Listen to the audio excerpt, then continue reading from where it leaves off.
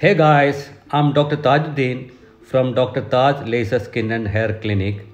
And in this vlog, I'm going to talk about top benefits and types of chemical peels.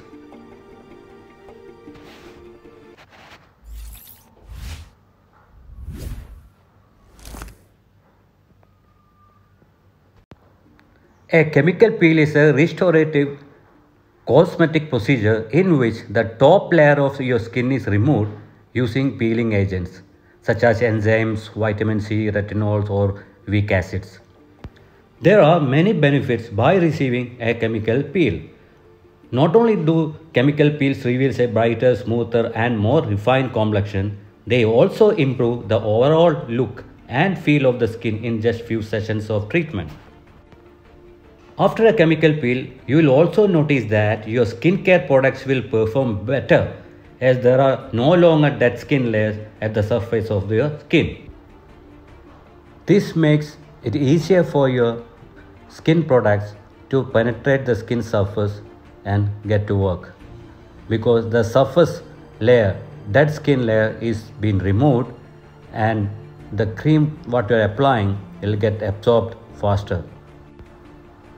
So if you apply any skin products after a chemical peel, the result will be much better.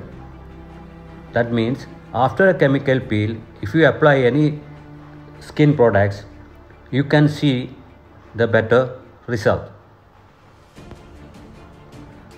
Now let's see how does it work. Normally skin has a pH of around 5.5 and changing the pH level chemically loosen the cells that form the glue between the dead skin and healthy skin. With that bond chemically loosened, exfoliation occurs as dead skin is removed to reveal healthy skin underneath. And also, it improves the aging process by remodeling the collagen. Now let's check what are the different types of CP that is chemical peel. There are mainly superficial, medium and deep peels. The first one, the superficial peel, will likely exfoliate your skin. It only removes the epidermis which is your topmost skin layer. This mainly used for fine lines, wrinkles, uneven skin tone, acne, open pores and dry skin.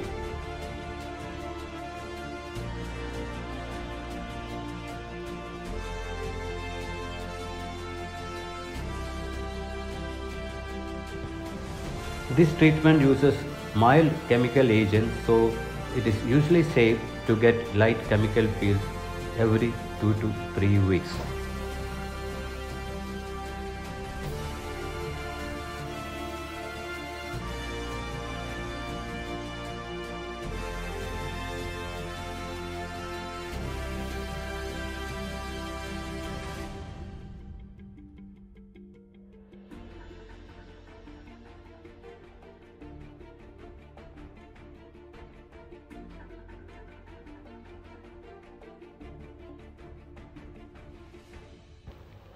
Now, the second one is the medium depth chemical peel.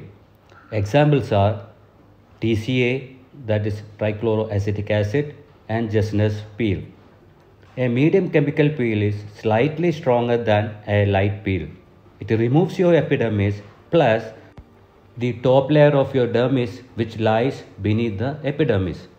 A medium peel is typically used for wrinkles, uneven skin tone, acne scars, hyperpigmentation due to various causes like melasma, acne that is pimples and tanning.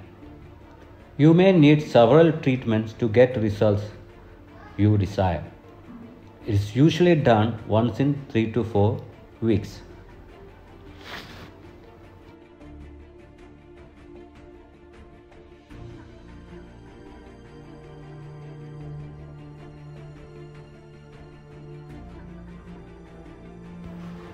That takes us to deep chemical peel. The example is phenol. A deep chemical peel removes your epidermis along with upper and middle layer of your dermis. It uses very strong chemicals so you may need a local anesthetic before the procedure. This will help prevent pain and discomfort. A deep chemical peel is best suited for deeper wrinkles, deeper scars, and precancerous skin lesions. The effects of this peel can last for 10 years, so it is done only once. You won't need repeated treatments for this. And a word of caution if you are going for a deep chemical peel, you should go to a dermatologist or a aesthetic physician with good experience. Now, let's check what are the benefits of a chemical peel. The first one is the pimples. The CP, that is chemical peeling, can break down comedones, decrease oil production, kill bacteria, reduce inflammation, and increase absorption of topical treatment. The superficial and medium chemical peels are usually used. Examples are glycolic acid, salicylic acid, and azelaic acid peels. As acne heals, it can create hypertrophic scars which are bumpy and raised or atrophy scars which create depression in your skin. Here, medium depth peels are recommended. And the next one is rosacea. It is an inflammatory skin condition that causes redness, swelling and red bumps. It also causes acne-like breakouts. It is known as acne rosacea. Sometimes a chemical peel can help relieve these symptoms. It is recommended for mild to moderate rosacea. And now aging skin. Chemical peels may reduce signs of aging. That includes wrinkles, fine lines, age spots, uneven skin tone, roughness, dryness and liver spots.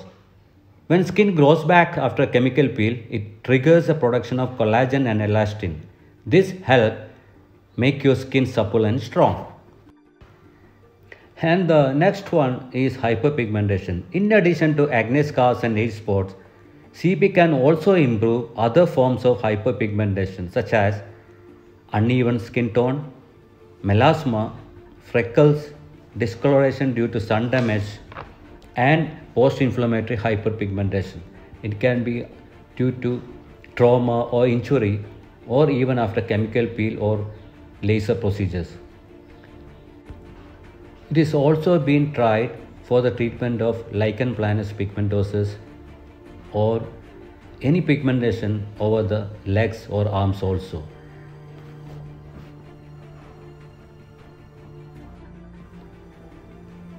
Chemical peel is also used for improving the dullness of your skin. You may benefit from chemical peels. The treatment allows your skin to resurface which may help your complexion look brighter and healthier. And the chemical peel is also used for treating precancerous growths. Actinic keratosis is a precancerous condition. A deep chemical peel can remove these growths and decrease your risk of skin cancer. Uh, now, apart from superficial, medium, and deep peel, there is one more peel called combination peel. Now, let's check what is combination peel. A combination peel is a ready-made combination of two or more chemical peels which complement each other to deliver better results. The importance of combination peel is that of the products that tend to deliver mild results when used alone yield better results when combined with another one.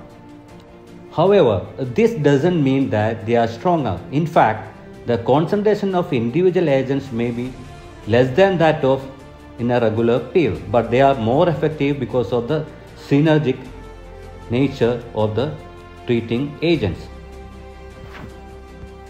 And for an example, one commonly used peel is glycolactic peel, in which there is a combination of glycolic acid and lactic acid. Glycolic acid exfoliates the dead layers of the skin, whereas, whereas lactic acid moisturizes and brightens the skin. There are various types of uh, combination peels available now. And don't fall for fancy names of the chemical peel. Nowadays, most of the people wants to go for uh, fancy names of the peel that's not a good idea and now let's check who is not a good candidate for a chemical peel like any other cosmetic treatments cp are also not appropriate for everyone.